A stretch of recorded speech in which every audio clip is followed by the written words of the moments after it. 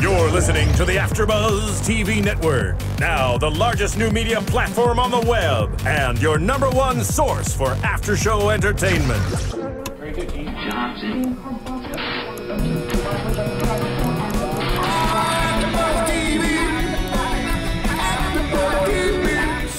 The AfterBuzz Studios in Los Angeles, California, presented by Maria Menounos and streaming live thanks to Akamai Technologies. This is AfterBuzz TV's Orphan Black After Show. We'll break down tonight's episode and get you all the latest news and gossip.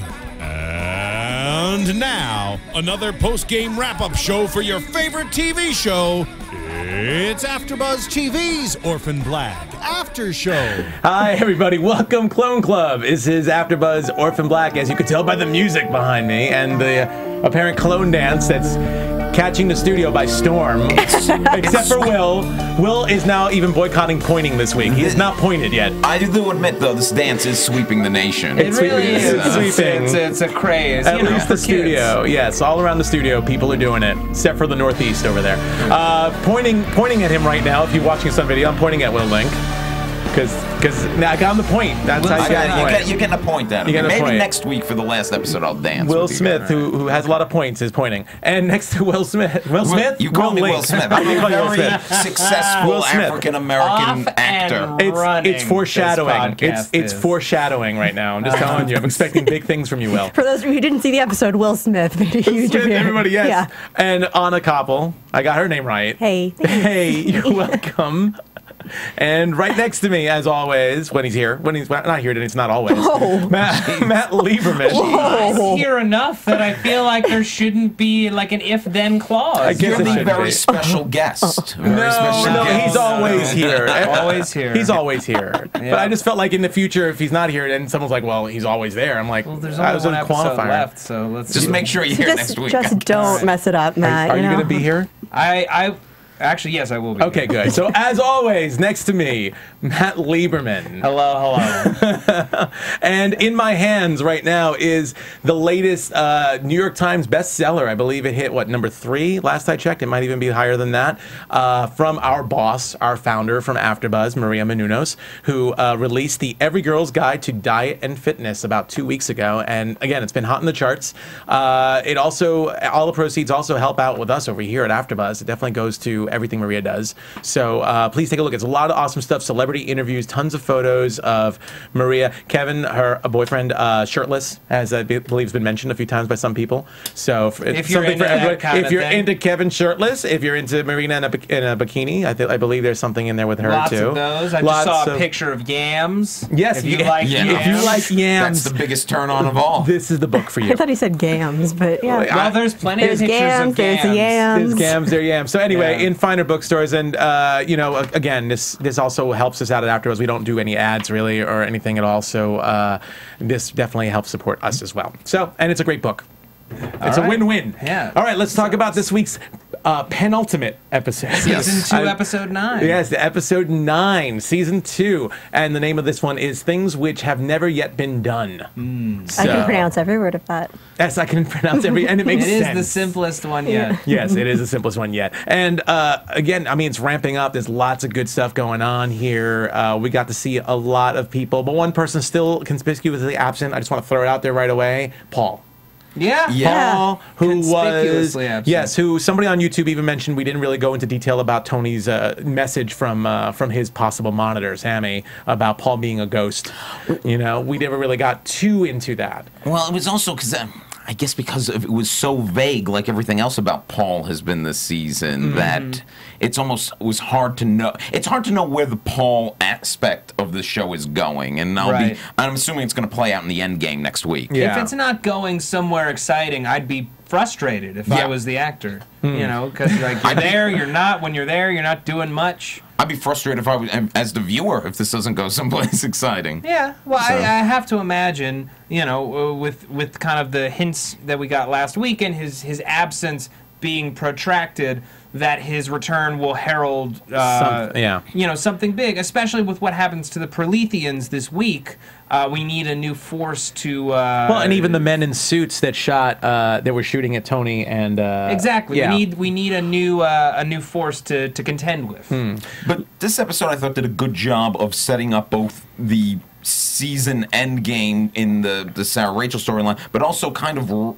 Kind of wrapping up some season stories for Allison and Helena, like you were saying with the Proletheans. Well, let's let's actually get started and and get uh, Helena uh, Helena's storyline in right. there because I think that one definitely separates itself very nicely from the rest. Yeah. So we can we can start off with that one. So uh, Helena is uh, we see her finally back and being impregnated or or uh, Yeah. or or uh, what do you call it? inseminated? More like inseminated artificially with uh, an egg, her egg Yeah. mixed Her in babies. with with the father who happens to be. Uh, sorry, you, you're Henrik. about to say, No, Henrik. I was just gonna say, and Catherine Alexander, we got to see right away, so that was thrilling. Oh yeah, that was awesome. Actually, yeah? we got to, this was the episode of Catherine Alexander got to be seen. So she was the midwife. and she was the midwife. So she definitely got some good roles in there. It's it kind of you know, I I kind of like the fact that she was the midwife. There's something very ironic in that. I think I feel like considering she definitely supports the show. She definitely is someone who's absolutely needed behind the scenes to for for the birth of this show. They need someone as strong as someone like that. So I, I kind of feel like there's a, definitely a a, a reason. There's there's a role. thematic beauty to it. Yeah. Yeah. Yeah. If I'm, you know, maybe I'm maybe I'm grasping at straws here, but No, uh, not at all.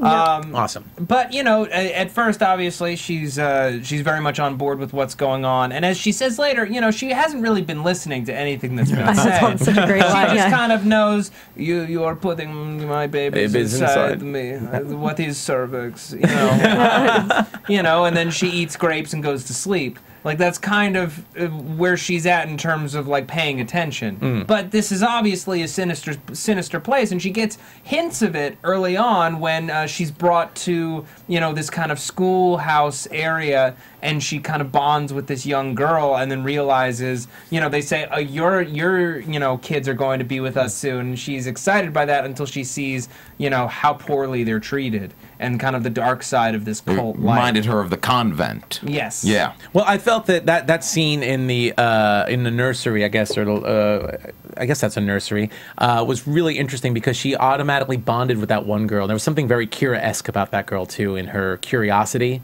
over Helena, and they seem to bond really, really well. She just wanted to touch Helena's hair. She just wanted to touch Helena's hair, and then to see uh, to see the teacher, I guess, or, or the caretaker, Well, uh, the- Midwife. the midwife, the midwife. Yeah, Yeah, I guess uh, take Offer to give her the strap. yeah, to give her that say to to threaten with the strap, uh, that was pretty brutal. uh, Right in front of Helena, and Helena, who obviously can be violent on her own, then shows her own brand by by threatening her. That was that was awesome. Yeah, grabbing her by the throat and letting her know Mm-hmm. she, she's gonna, you know, what did she, what, what did she say she was gonna? Uh, she would uh, gut, Got her like a Give- she fish. got her like a That's what it was. Yeah. Such Got her beautiful like language. a fish. And Yes. Gracie loved it. She just ate that right up. And yeah, Gracie loved that. But we saw a real turn with Gracie in this episode. Obviously, by the end, where she defies her father and, and runs up. But like throughout the episode, you were getting a lot of, you were kind of really getting into Gracie's head a little bit more and seeing her the issues she has with her family. And a thing that I loved about uh, Henrik or whatever in this episode, we've seen him also. Yeah, we've seen him kill Tomas, and we've seen him. Uh, you know, have his daughter's uh, lips sewn up, but there was always like kind of a a pleasant attitude about him, and there was kind of, and this was the first time in this episode where I thought you saw him act like outwardly evil and scary. Right, there was still something uh, just because he he's so outwardly pleasant, something uh, just a little bit ambiguous to what they were doing. Mm. You you know you knew that they were going to means that were a bit draconian to get their their what they wanted to do done, but they weren't necessarily bad people. But impregnating your daughter with your kid That's creepy. Is really creepy. Yeah, that's and super messed cool. up. Well, I think what's really interesting too, and, and I definitely want to bring this. If you look at at Hendrix and his cult in comparison to, let's say, the clones, Mm-hmm. who have very alternative lifestyles, and then you have the Proletheans who are very very religious. You know, and and I think they almost take it to a, a crazy degree where we I think we always kind of picture people who are very religious, super religious fanatics are very against sexual, well, you know, sexual alternative lifestyles and sex in general. And the way Hendrix even approaches it is you can't even have sex. Yeah. You just Yeah. artificially inseminate all these people.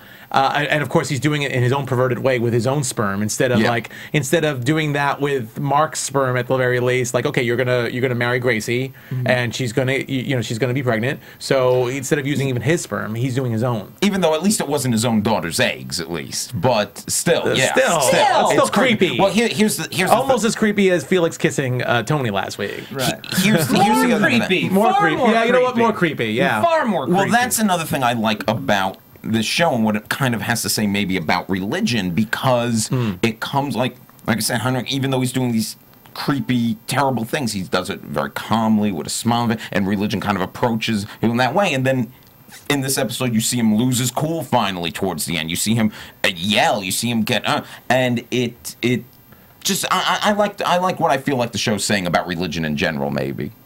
Based on Really? that, yes. I don't think That they- religion's that extreme, but I, I love I love the extreme that they've shown of this. Sure. they've taken it to a, a, a point where I think I like to think that nobody, you know, no no religious sect is really that crazy. But you know, well, you know what? There are some cults that do stuff like that. I've, Yeah. re- I've read stories. So and uh, you know to know that also that his wife the reason why she's been absent this whole episode is that she's out finding more Brood brood, mares to be impregnated and that you know because you you look and he's been he and mark are the only men that have been there the whole time. Hmm. and it's been something that hasn't really been addressed but we finally really really see in a in a in a very pointed fashion this week. And namely that he's been impregnating these women with his seed over and over. And i'm wondering how like i, I assume that he's only one generation deep with this and that impregnating gracie is the start of generation two i'm hoping that it's not generations upon generations kind of like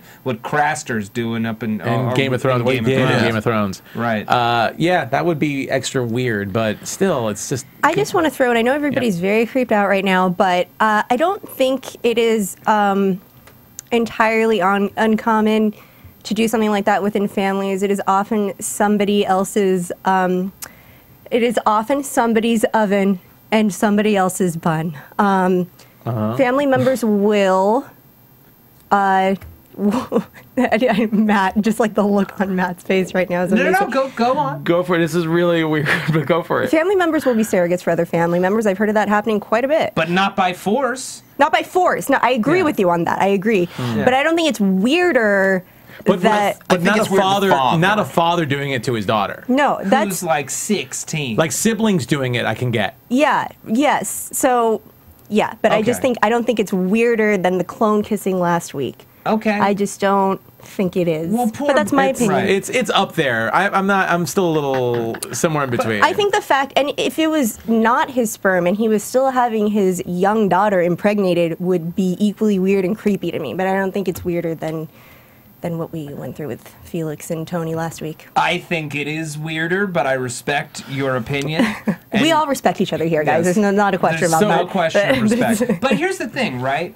Uh, Gracie, the whole reason that she went and got Helena back was the threat was if you don't bring Helena back, then Mm-hmm. I, you will be the one to carry the babies. But it looks like she was screwed either way because she, still has to carry the babies. Well, Yeah. uh, Henrik, Yeah. he needed, I guess, all these like Helena super babies that they're going to be. We still haven't even gotten it's to a the war idea. for creation. Oh yeah, Yeah. what exactly is so? I mean, we know Helena is special, but what exactly do the Proletheans think is so special about her that they need her genes? Why do they have to be Helena's genes? It's just weird because it's not even you know you you think that this might be a science experiment to see what kind of babies come out, but at the same time it's like it doesn't make any sense. It doesn't seem like he's really testing them. It just seems like he's building a brood uh, for his own purposes. But I mean, I guess they're all going to be like Kira super kids, and we still don't even know necessarily. We haven't thing, been is, like, told. there's no, ne- there isn't necessarily any proof that they know about Kira's superpowers. super powers, yeah, super invulnerability. I feel like, but they they know she's special. They wanted Kira at the beginning of this this season, uh, and I guess that's not an endgame we're going to get to until next season because John Fawcett he said this week he said that we are not done with the Proletheans yet. Right. But clearly for this season well, we seem uh, done. Henrik's Henrik's wife is still out there. Yeah. she's still out there. She's still got some brood mares. Uh, I think uh, you know. Whether or not they've been impregnated. Whether, well, they haven't yet, Yeah. you know, and and uh, and Helena stole all the baby well, and, Yeah. and, material. and Mark and Gracie escaped. Mark and Gracie escaped. So we have potentially two Helena babies in play. Uh, maybe more if they have twins. It's hinted at uh, by Henrik. Gracie escaped, but she's still pregnant. She's still pregnant. And then Helena, uh, as of right now, is still pregnant. really pleased that you know like helena calls him out right she says you know you love her like like a puppy like you love her like a pet. Yeah. you don't actually love her like a person. And he steps up in a big way when he sees her being mistreated. You know he realizes like this is this is screwed up man. Oh, I, d- I don't think she was. I think he was. She was saying like it's like puppy love. Like you're. Well, they're not allowing themselves to really be a real relationship. Well, and when think he he lets said- her out, he's all he's he like you said, he's kind of stepping up and being a man. Yeah. yeah. There was actually a lot of that in this week's episode. Stepping Uh, up and being a partner let's be progressive and say that well, being he a is, partner. but he is a man, so He that's is- why I said. a That's why I said if it had been, just- if it had been a It's- woman, I would have said no, but it's a, it's it's a pet peeve because it enforces it enforces a that it that it is masculine to be kind of like you know a, a person of action, uh, and that you know there's only one type of masculinity, and b that you know potentially a you know it's not like you know stepping up and being a woman if he if if he were a woman and she freed. her. You're right, but I, I might want to get into this a little more when we talk about Donnie later. Fair enough. Fair enough. Uh, right before we talk about Donnie, one other thing I want to bring up with, with Mark actually is we got to get a little bit more backstory with Mark too. I don't want to gloss over this because I Yeah. think it was important Oh, yeah. to uh, to know where Mark came from. And apparently he it sounds like he was a soldier of some sort. Ex-military. Ex-military. Um, don't know what branch or anything, but he, he claimed that you know he was serving uh, what a mission. I believe I can't remember the exact quote. He was he was uh he was on a mission On a for mission. country. So if they're if they're in Canada, he was a member of the Canadian military. It appears. Yeah. Um, you know, and and we have to think back to he and Paul Yes. interacting a couple Yeah. episodes ago. It was a very friendly interaction between the two of them. It was almost a little too casual, and that really brings that to light. I feel between the two of them. Now, I, I don't remember if it was specifically. I don't think that they necessarily came out and said that they knew each other. Mm-hmm. I think that they sized each other up as soldiers, you know, on different sides of this genetics war. What do you think? Do you think that potentially they know each other or that they may be a part of the same ghost group and I- they don't even know? I feel that it. Look, if you have two soldiers from alternate sides of a war Right. facing off against each other, chances are they're going to be fighting. so the fact that that Paul was able to saddle up next to Mark at this bar, have a conversation with him, and do a negotiation, and said, "Look, you know, you take yours, I'll take mine, and we're fine." The fact that they did that obviously means there's some level of trust. There's some odd. It was a little odd, I think, even back then. that scene that was just a mutual respect to two men who had been in the military. Exactly. I, I felt like it was two people who saw in each other, you know, if we have to come to blows, uh, you know, I will have to work for it. Other people will get hurt. Hmm. I think that we're both professional enough that we can sort this out cleanly.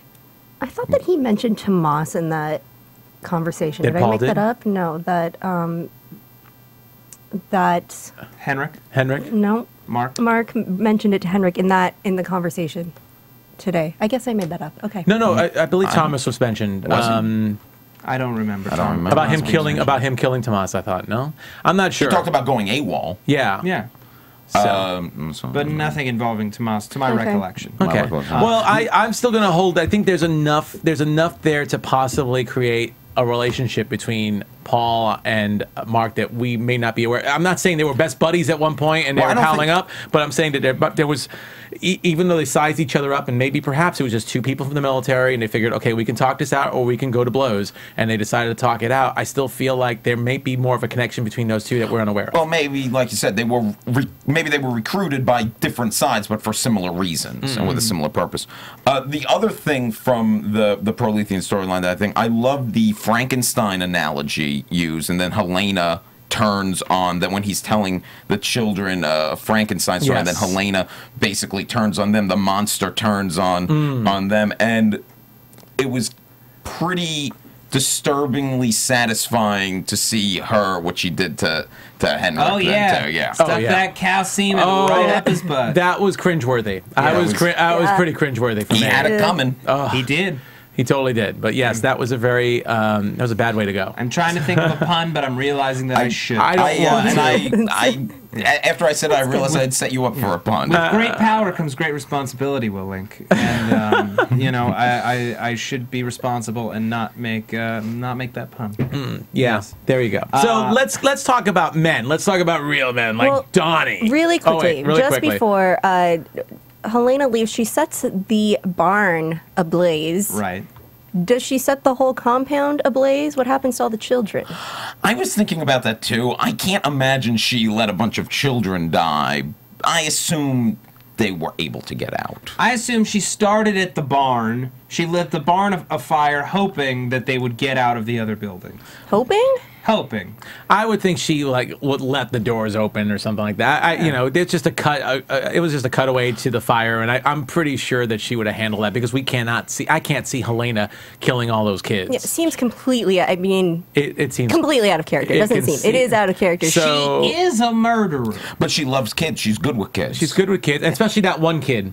Like I could see. Okay. Let me put it this way: if she set the whole place on fire and she had that one kid on her back taking her out, Right. then I would possibly go, "Oh no, what happened to the rest of the kids? Why'd she take this one?" But the fact that she left alone and left that kid wherever that kid is, I I, I get the feeling Yeah. that she warned everyone else. I mean, look, she let Gracie and Mark go. Yeah. And Gracie called her a monster several weeks ago. She she apparently bonded enough with Gracie to mm-hmm. let her run, told it, told her and Mark to run off. Yeah. So I'm sure she gave the same warning to everybody else to run, and then she did what she did to Hendrix, poor Hendrix, and set the place on fire. I Henrik. know.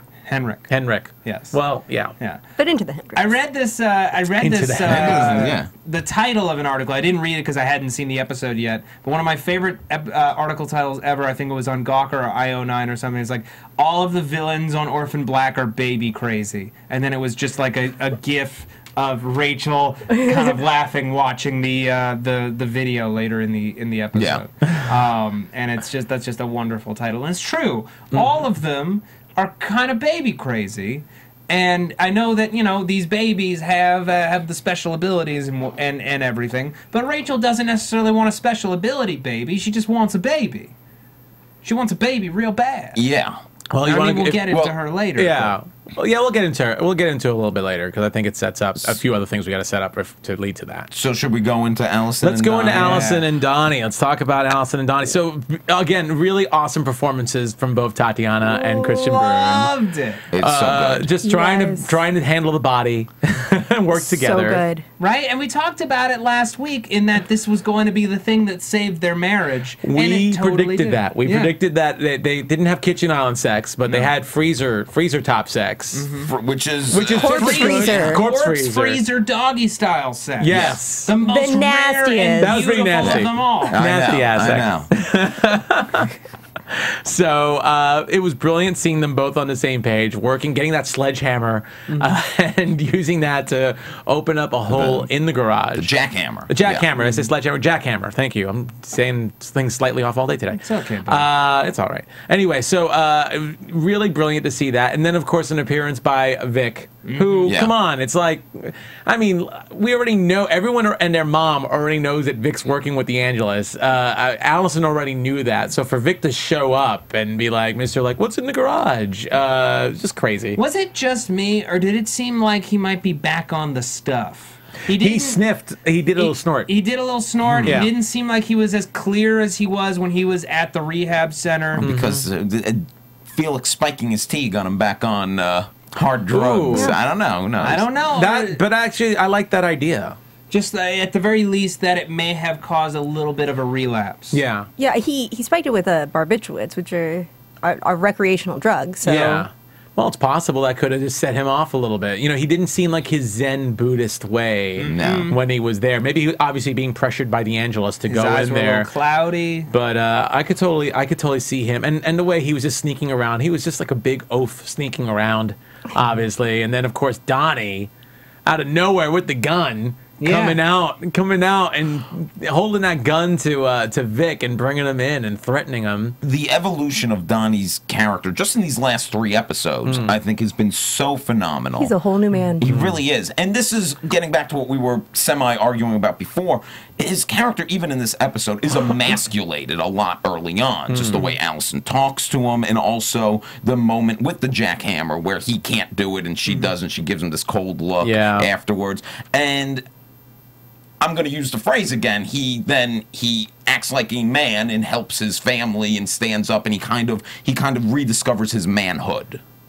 Yes. Eh, yeah. I mean, he's a guy who's always been kind of a, a buffoon and henpecked. Um, and and you're right. In, in the traditional sense, he's always been very emasculated.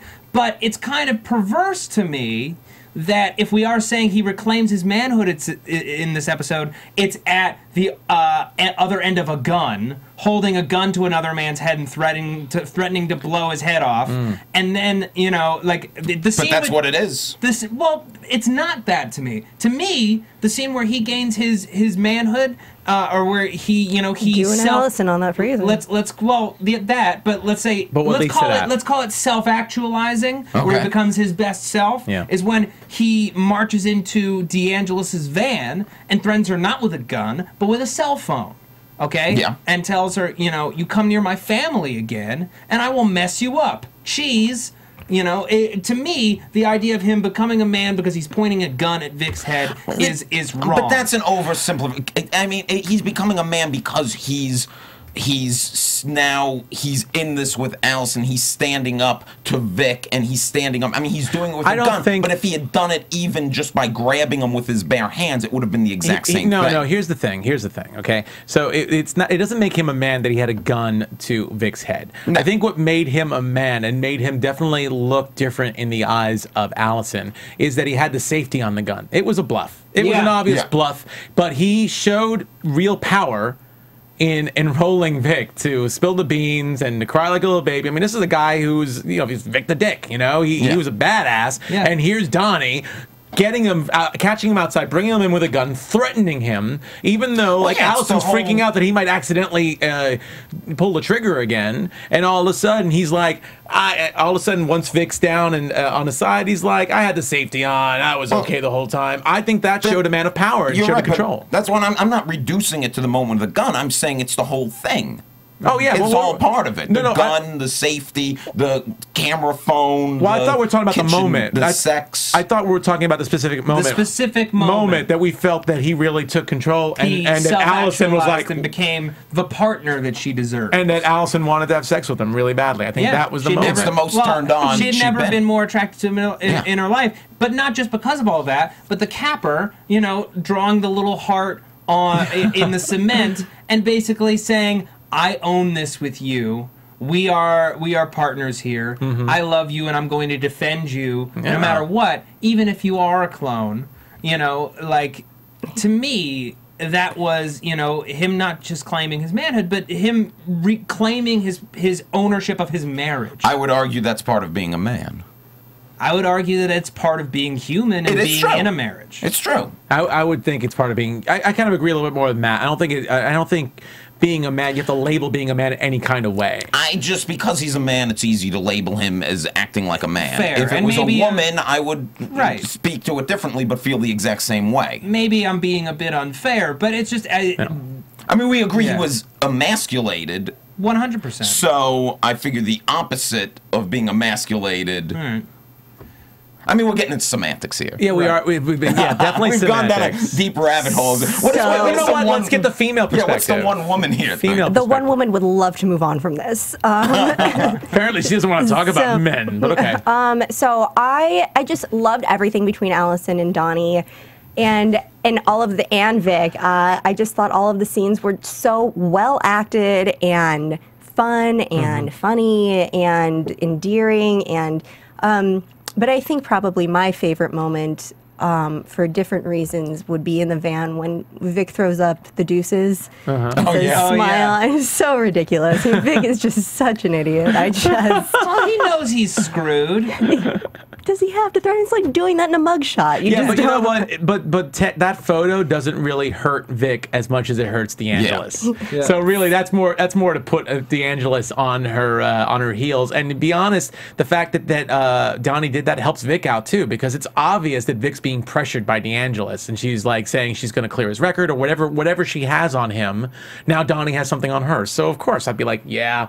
Yeah. Here we go. I'll help you out, Donnie. Peace. Here we go. Peace out. It's a great moment. yeah. So This was such a great. I, I don't know how much we're going to deal in A- Allison's marriage next week. I feel like next week's going to be a lot of other stuff. It but felt very was final in a way. Yeah, and it was good because that's been her season-long arc of trying to save the family, keep her family Well, together. not just that, not just that. She has spent the majority of this season alone. She's someone who definitely needed support. Uh, for season one, she was already living kind of a loveless, loveless marriage, and she was relying on Sarah. She was relying really on Beth. And then when Beth turned out to be Sarah, and Beth was gone, then she knew she had to put her, her you know, all her eggs in, uh, so to speak, all her eggs in Sarah's basket, and and work with her and Cosima. But she's been very isolated and we saw even when Felix, you know, disappeared and finally came back. Now she has a partner, a real partner in her husband, Who's not going to abandon? who's her. not Yeah. going to abandon her and who's definitely taking charge. And she, I'm sure, I'm sure the fun part of seeing her perhaps next season is going to see she's still the kind of person she doesn't want to, she doesn't want to follow. She's the, she wants to lead the relationship. So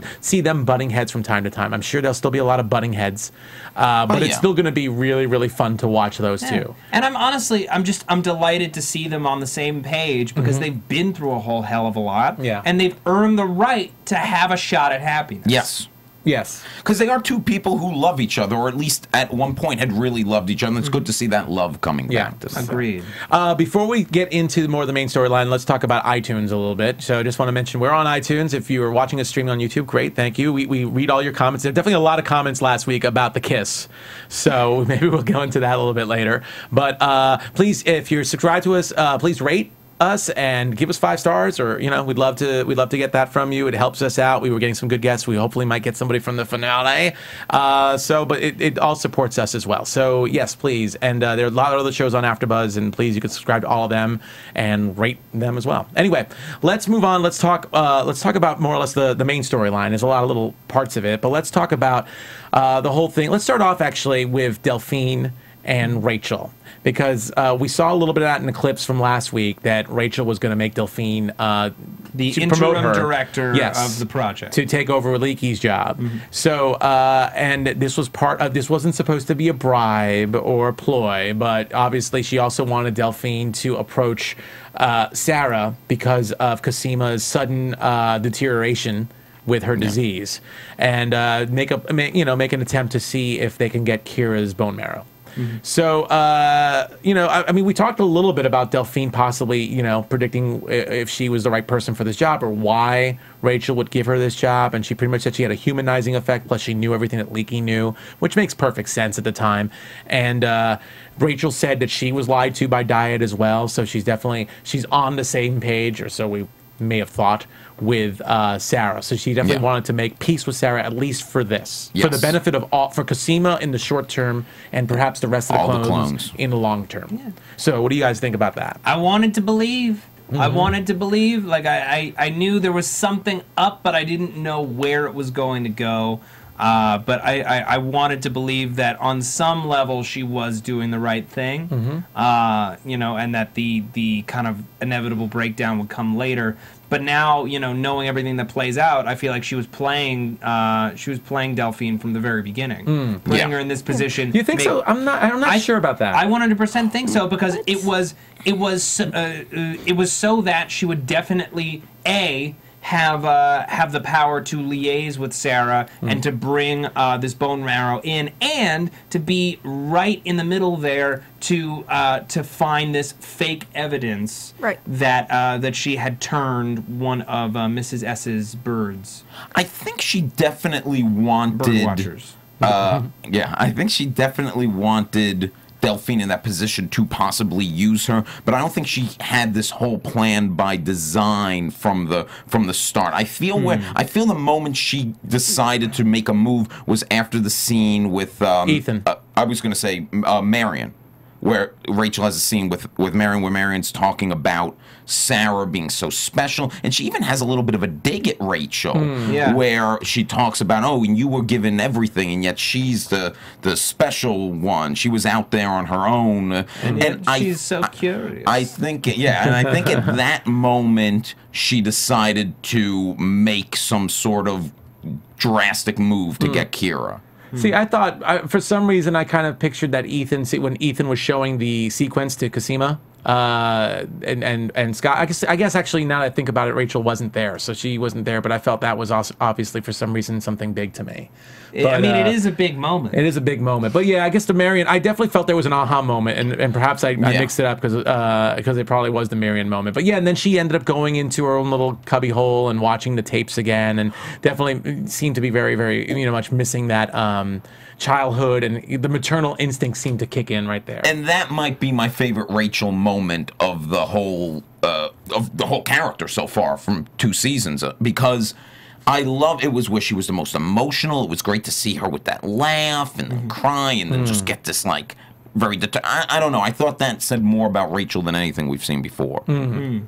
Interesting. Okay. So, uh, you know, we, we end up seeing, um, well, we should just get into it actually, because I think it's such a brilliant thing. I only, I don't want to hold it out any longer. So Delphine is getting back to her, uh, to her, her space back because Rachel's been using it.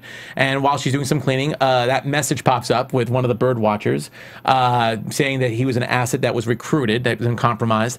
And uh, Delphine ends up going to, and I don't, I don't get this 100%, but I guess maybe she wanted to get Sarah alone. So she ends up sending Mrs. S up to get Sarah, who's hanging out with Kira, brings her down to the limo. They have this conversation. And what we Yeah. don't realize, I think, right away is while that's happening, that that's con- this is concurrent with uh, with Rachel going back up dressed exactly like Sarah. With the wig, everything. with the wig. Brilliant. A beautiful beautiful scene because the whole even the interaction in the car was delphine saying now don't don't overreact. So us as an audience actually thought that it was sarah saying i'm not going to say anything to mrs s yet. I want to Yeah. check on kira just saying that mm-hmm. something's up and check on kira and next thing you know felix who drugged who drugged vic last week all of a sudden gets drugged himself so Stabbed in the uh, neck stab- with a hypo. stabbed in the neck with a hypo i thought that was brilliant It, it was. It was such a well directed sequence. Also, there was a moment when she was in, when Rachel was in that room watching all the, the the videos of it, and there was a moment where you see her put on a leather jacket. And I got to admit, there was a second where I thought, "Oh, is she going to try to be Sarah?" But then I totally forgot about it because I was so lost in. Uh, I was so caught up in that scene, and I watched the scene uh, a second time later, and again we always talk about Tatiana's so brilliant. If you listen to just a couple of words she Right. says when It's a she's slight difference in it's just and you don't notice it because it's so quick. The first time I'm watching on a second time, it's not that it's obvious, but it's like, oh yeah, it's not No, because Sarah. of, because of the urgency. You Yeah. know, like knowing that you know this guy's been compromised, rushing out of the car. We want her to get to Kira. We don't. We aren't necessarily paying as much attention as we would be otherwise. Um, so who is this doctor that she calls? She calls a doctor after she watches the tape. As she's putting on the leather jacket, um, I, I may have missed the significance of it. I don't know if it was the person who supplied the wig, if it was the person who who uh, perhaps is the caretaker at this place that she took Kira to.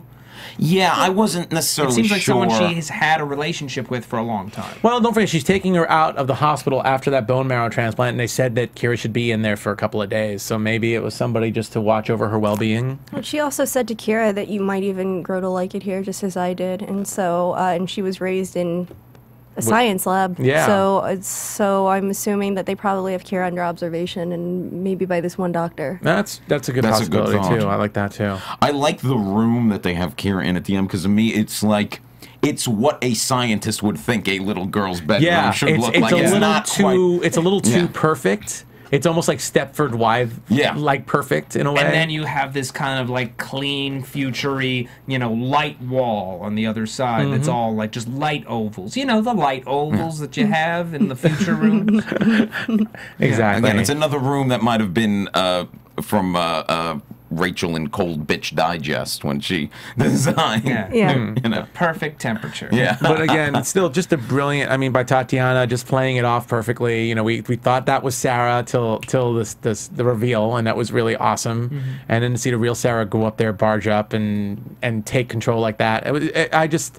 Just brilliant, and we haven't really seen too many. Uh, well, we've seen a couple this season uh, impersonations of Yeah. Tatiana playing to you know character playing somebody else. And- so this was perfect. This is one that fooled the audience. And again, that's what was was so great about that that one uh, is that you see those scenes and you kind of always know. You kind of always can tell by the way. But this one, like you said, because the urgency, you couldn't you couldn't pick up on it unless you're really listening to that mm-hmm. voice. Now let's not to gloss over. Like we kind of just jumped to the end because it just was really really important. I, I want to talk a little bit more about Kira. Just what a trooper this girl. I mean, I I think we all kind of figured Kira. If you ask Kira, can you do the bone marrow transplant? It might hurt a lot. It's gonna be a big needle. She'll do it because Yeah. she's so freaking. She's a man. She she's the manned best. up. She manned up. Uh, yeah, I don't think I, I could do Matt's that. gonna Matt's gonna explode. now in that Yeah, case, I say- would not have said Everyone man go up. take a gender studies course. like I would not have said man up in that case. I was pushing buttons. Why I, not? I was because oh! you're trying to have it both ways now, man. no, well, I'm getting off of this topic. Kira is a Kira. Blame Nando. For Kira bringing it is an incredibly, incredibly brave girl, and she obviously, uh, you know, just is a trooper. to say anything else, I mean, she's like, I'm scared of needles. I don't like this, but I, if it's going to help Auntie Cosima, yeah, of course, I'll do it. So I thought that was really, again, just another, and and you know, even though it's supposed to take her two or three days to heal, I mean, we saw what happened to her after she got hit by a car. So Yeah. you know, I'm, I'm guessing she'll heal really fast uh, from that Someone anyway. made a point online. Uh, I don't quite remember where. It may have been a tweet that someone sent me. Mm-hmm. Uh, how is Kira so very aware of Cosima and what she looks like, Yeah. considering that she has never interacted with Cosima? She has never called Cosima. Mm. She has never been in the same room with Cosima, but she knows what Cosima looks like. She cares about Well, her. she has had Skype conversations with Sarah, and it's possible maybe. That was my I guess, kinda- too. I kind of just assumed that. right that she was just kind of like met her via Skype. Yeah. Okay. I, I'm just I'm just putting it out there because again we have this sort of preternatural ability to sense things. Well, don't forget, Cal. Didn't Cal show the f- the drawings that uh, Kira did Yeah, to Sarah? right. So wouldn't Sarah be the first person to go? She's never met Cosima. How does she know Cosima looks like this? Yeah, I feel like that that would have if if that were the case, it would have been an, something that's come up. I, I assumed, like Anna said, that they've probably I think if they show every Skype. single yeah, if they show every single nuance, sometimes it just gets to be a little tedious. So we have to make some jumps sometimes. But I don't think that's a I don't think that's a major jump. I think if it if it was true, I think there would have been a bigger deal made about it in the show the, itself. the same person tweeted Matt and I at the same time, and um, somebody else tweeted, a third person tweeted, um, you know, not everything can happen on screen. Yeah. Yeah. And, Yeah. Um, you know, maybe they've met off camera. Yeah, well, haven't like, like- and, and like the fire, like the fire earlier. Like I, I, I don't think that it's in Helena's character to kill uh, No, you know, she's not a- a, killing bunch of babies. kids. Yeah, to, to kill the babies. my babies. Uh, babies. yeah, Some especially way. to set fire to him in Oh, that way. those my babies. So Those my yeah, we, there's some things that we just have to assume based on the character, unless unless someone's like pointing a bit. And and that's what's so brilliant about this show too. Like we could, uh, you know, we can analyze certain things, but we're still going to get fooled by by something like that whole Sarah Rachel switch. You know, uh, so but we can we can be busy saying I want to see everything. I just realized that on some level, Helena's accent is basically the female Henry Kissinger. I will visit my sister with the real politic and my babies. Nice. And then I also want to I also want to bring up uh, I want to bring up Ethan. I mean, we didn't see too much of him, but we definitely got to see him uh, showing the see he had the key to the sequence in his head, and he mentioned how he doesn't want to give Dyad everything. But it was a very I, I kind of felt it was a very compassionate uh, scene with Cosima and Scott there. You know, Yeah. the way he was he was talking to them like fellow kindred souls, like scientists. Yeah. And uh, I know last week we talked. Should we trust Ethan? Ethan? Should we not? So He, I felt I warmed up to him more. well, he said something, though, that was a, a weird giveaway callback that he said to Cosima, uh, time to start fixing my mistakes, which is what Rachel said to him last last time. Um, I wrote down the quote somewhere, but he, but what that was the gist of it. Time to to get to work fixing my mistakes. It was just a strange callback to quote Rachel. Um, almost the exact No, yeah, that. same wording. Yeah, I mean, there's still something very off about this guy, uh, and you know, hopefully we find out next week. But I, I liked that you know he he flat out said, "I'm not going to give." Dyad anything until I know what their intentions are. Yeah. Uh, you know, with this Dyad guy right there with a ear jack in, who probably immediately told Rachel that this is what was up. and I'm wondering how far Rachel would go to get this information out of her dad's head. I think Rachel's a little preoccupied right now with Kira to With really new let that affect with her new baby. So I think that that might still play out. This Uh, guy, by the way, mm-hmm. just completely watching over Scott's shoulder, and it's very similar to the Project Leda photo, if you think about it, with the military guy. yeah, that's Very, very that similar. is similar. There is something eerie to that effect, yeah. Yeah. So I'm sure that in the same way that you know Ethan ended up escaping Project Leda, that maybe it's setting up a foreshadowing for for something happening to Dyad with Ethan there, as Well- long as he's being watched. Obviously, I, I mean, maybe I, I- am making the obvious statement here. I, I do like the But- fact that he is very hesitant to give Dyad anything new, anything up, up from the information there, mm-hmm. which is the one thing maybe we can trust him.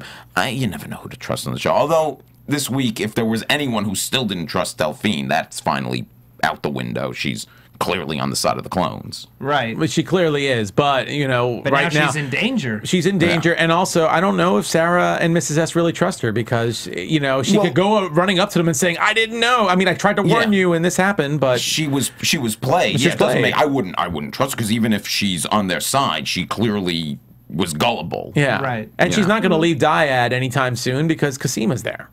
No, she can't. She can't. So, Somebody has to be on the inside anyway. Yeah, somebody has to be on the inside anyway. So she just has to mark that up to I was played, and uh, it was a ploy to get Sarah away from the baby, uh, away from Kira, and it worked. And I, I feel like a fool. It'll be interesting to see what kind of back and forth Rachel and and Delphine have next week, if any. yeah. Well, the, we saw in the in the coming attractions they have at least one scene. Okay. Yeah, And we still are waiting on the four clone scene.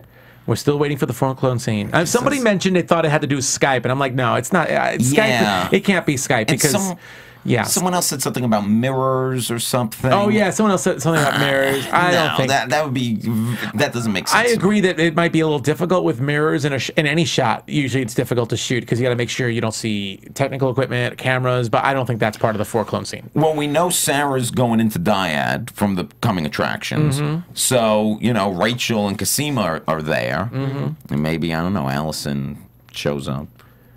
Yeah. I- Potluck, potluck at Dyad. well, if it's gonna, all right. Well, if it's four clones, we got to see or Helena because uh, Helena's on the run right now. Yeah. yeah. Helena and Helena said, "I'm going to go see my sister." Yeah. She said it herself. So, uh, you know, we definitely should be seeing Helena in that four clone shot, Maybe most she likely. comes in like the cavalry. Yeah, and, I uh, feel like yeah, I feel like for some reason I don't think Alison's going to be mixing with anybody next week, other than Donnie. Maybe some Well, more, some more sex. Well, okay, fair, but uh, you know, I don't think that it would be Orphan Black if we left anyone on a happy note at the end of a season. And I feel like having she and Donnie mend fences and finally come back together, no pun intended. Um, uh, you know, in this way means that we're going to get something bad happening next week. Because uh, we have to remember, she did sign away her rights at the end of last season. That hasn't been touched on at all all season long. Yeah. And if we're seeing this kind of like dark laboratory esque room that Sarah winds up in, who's to say that they don't nab up the rest of the clones and uh, and you know start experimenting? Or that Alison just comes in for whatever she's agreed to come because she has agreed to come in Mm-hmm. for tests uh, every once in a while. So maybe that's how they all get into Dyad at the same time. Maybe that could be a thing. Yeah, that hmm. makes sense. It could be a thing. Definitely could be possible. I I love the way the show handles anything medical, the way they film it, the way like even with Kira getting the needle and stuff. It's just also it reminds me of like The Exorcist, the scene in The Exorcist when they're running the tests on her. Does anyone on feel like they took Regan. a lot of marrow They took a lot of marrow. I- I'm not- She got tiny bones. I'm not familiar with that, but it's it, it that needle that whole thing that was another Oof. cringeworthy effect to me. I'm not a fan of needles Yeah, it either. did So I seem was like they kept handing over, like to yeah. Yeah. I feel like they drained It that whole wasn't- bone dry. It wasn't as bad as what happened to Hendrik, but uh, that made me really cringe. But uh, but the Kira thing did. Yeah. The Hendrick thing kind of put a smile on my face. you know? yeah, that didn't bother me as much as yeah. the marrow. Because Oh, he's terrible. Because he violated Helena. Oh, I'm not saying he saying violated his daughter. I'm not saying that wasn't it wasn't worth it for him to get it. I'm just saying actually seeing that kind of made me cringe. I mean, you know, that was all it was. okay. Fair enough. Yeah. you haven't heard anyone ramming uh, I'm not a an, an injector. We have- I don't want to see it as much as even if I don't like the person, I really don't want to see them getting rammed with an injection uh, in that area. This okay. Has been, this has been a very testy episode. Oh, of, uh, the very that was Very- no, that was that wasn't supposed to be okay. a pun. That Oh. wasn't supposed to be. It just it's contentious, but I said With testy. great power comes I, great I Yes. don't know the power I have. Uh huh. Okay. It's, it's great. It's great power. Well, that was a lot of fun. Do we have uh, do we have any news and gossip, Mr. Will? No. I just No. have one thing that I, I don't. would like to say um, Yes, as a As a woman, as a woman. as, as a fan, as a what? Prediction? before we go into into predictions, um, uh, this is this comes from iTunes and it's from um, Fiction Boy and it was comes from June thirteenth, and uh, he said loved it but got spoiled on something, and um, it's something that actually came from. Um, our season one recap, and I, I just I just wanted to What's that? say, well, we, we pointed out there is going to be a new clone coming. And that was in Entertainment Weekly and it was out there, but not everybody reads those articles. And Okay. But the clone So- we were referring to was Jennifer. Yes. Right. Yeah. Okay, so, but that's it. So I just wanted to acknowledge that, that, yeah, and we didn't put a spoiler alert on that or anything. And so. So we, um, we apologize. So we that apologize. The information was out at the time. It was at the of time. Our posting. Yeah. and, but, but we should have been more sensitive to that and put a spoiler alert. and put a spoiler alert in front Yeah, of it. so that's all. Okay, fair enough. I, I feel like it wasn't just Entertainment Weekly that mentioned it, but I, I could totally understand that. I use that as one example. Yes, got it. So- got it. Okay. It was there was two people, Entertainment Weekly and us. well, other if it that was if it was something about a death, I definitely wouldn't mention that. But uh, you know, I'm, I'm hoping to see more clones. I'm hoping we see more clones next season. You know, so uh, and who knows what we would see. You know, considering Tony was such a interesting choice. Uh, who knows where they'll go next? If they'll even try and heighten that. So anyway, let's move on to predictions. And now, your AfterBuzz TV predictions. Okay, well, man up. Okay. Um. so I love you, Matt. we Me too. we talked about how you know I guess Paul's got to come in to play next week somehow, and we were just talking about maybe Helena comes in with the cavalry as a cavalry to try to save the day. But I think the person who's gonna come through somehow and work their way into this storyline, maybe help Sarah get out of Dyad, is uh, Cal. I think Cal. Is, have I stolen your prediction? That's my prediction. Oh, Damn it. I apologize because he's clearly some sort of corporate terrorist. He's clearly has these things going on. He's looking into Dyad, so he's probably going to see that they have her in some way. Well, my prediction is actually that he's going to save Kira because when they parted company last, he said, "Remember? Do you remember that number we practiced? Do you still mm. remember it?" so, right. so I think it might not necessarily be like a cell phone or something. It might be his whole operation, his whole network. He might be operating the ghosts, man. That's what I'm saying. you ah. think? he might be a ghost. he, might, be, a ghost. oh, that's a great prediction. Think about it. Mm. Mm. Oh boy. So, uh, but I think I think you're right. I think the whole because that whole moment with Kira wouldn't have happened if it wasn't going to come into play now. Yeah. So Well, uh, you know, I don't have anything as good as you guys. Damn it. Uh, I feel like I, I feel that definitely, like we said, that uh, we can't see a clone with a happy ending, probably for the season finale. So even though Alison's in a really good place, uh, I, I want to say that I don't think the disease, I don't think Cosima's infliction is going to get fixed.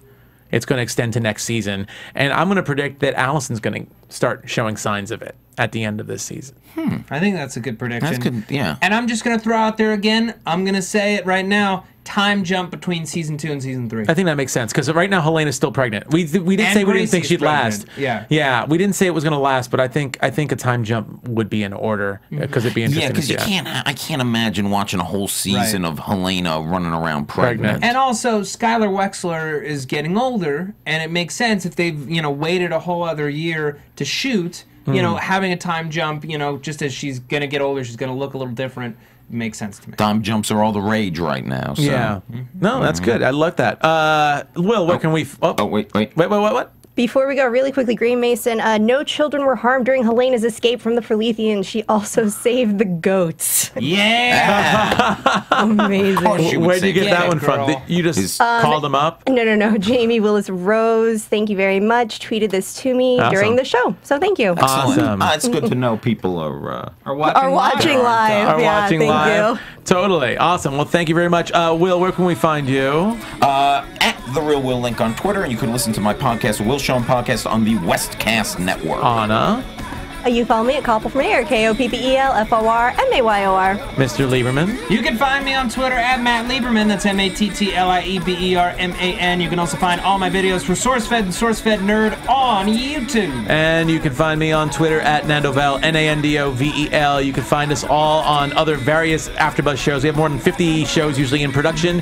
Uh, catch us on iTunes, subscribe, rate. We, got, uh, Defiance. Defiance starting on Thursday, Starting on- season two. Yes, we Uh, do. The whole first season is available to stream on Amazon Prime Yes, for free. For and I'm doing 24 later tonight. And you did Salem today, right? You I did do Salem today. So there we go. Bunch of other shows. Uh, too many to mention. But anyway, thank you so much, and tune in next week for the season finale of Orphan Black. From executive producers Maria Menounos, Kevin Undergaro, Phil Svitek, and the entire AfterBuzz TV staff, we would like to thank you for listening to the AfterBuzz TV network. To watch or listen to other after shows and post comments or questions, be sure to visit AfterBuzzTV.com. I'm Sir Richard Wentworth, and this has been a presentation of AfterBuzz TV. Buzz you later. The views expressed herein are those of the hosts only and do not necessarily reflect the views of AfterBuzz TV or its owners or principals. Thank you for watching AfterBuzz TV on YouTube. For more of your favorite after shows and interviews, subscribe to our channel here, and be sure to share your opinion on the episode in the comment section below here. We'd love to see what you guys are buzzing about. Thanks again. Buzz you later.